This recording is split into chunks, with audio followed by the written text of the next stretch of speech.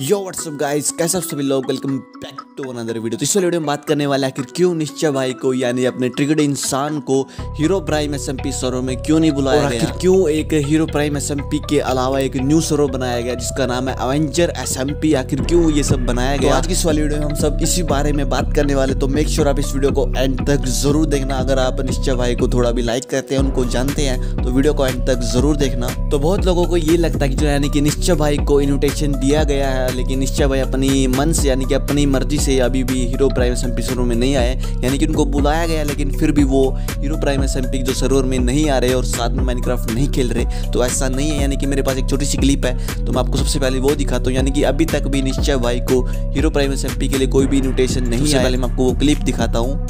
Ronit Agnihotri blogs भाई ने question पूछा why don't you join Hero Prime SMP because they do not invite me अब और मैं क्या ही बोलूँ?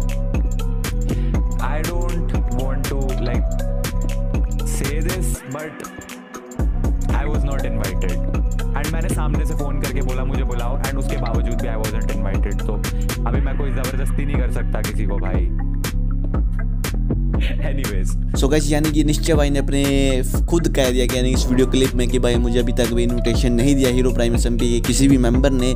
तो इस वजह से जो अवेंजर एस बनाया गया, जिसमें मिथ पैट और खुद ट्रिगड इंसान यानी कि इस एसएमपी में सिर्फ़ दो मेंबर है मिथ पैट और ट्रिगड इंसान खुद।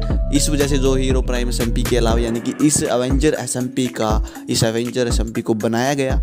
और बात करें, यानी कि टेक्नो गेमर्स यानी कि उज्जवल भाई की तो उनका क्या कहना है कि न्यू मेंबर को ऐड करने के बारे में? तो वो क्लिप आप देख लीजिए।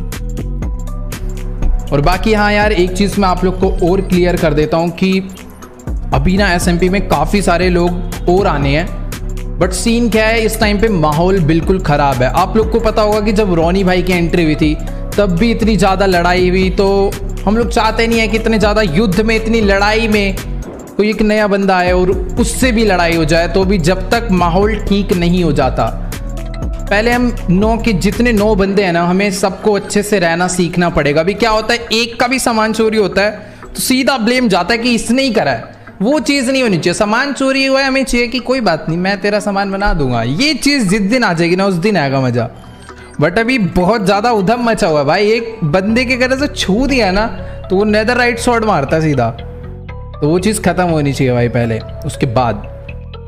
तो थोड़ा धीरे धीरे देखते हैं यार। अगर आज एक अच्छी मीटिंग हो जाती है, एक अच्छा माहौल बनता है, भाई देखो हम नहीं जाएँगे उनके पास। मैं तो नहीं बोलूँगा कि भाई आओ, हम लोग तुम्हें वापस बुलाना चाह रहे हैं। हम लोग चाहते हैं, पर हम लोग देखते हैं कि वो लोग खुद से आते हैं हमारे पास या फिर नहीं। देखना पड़ेगा।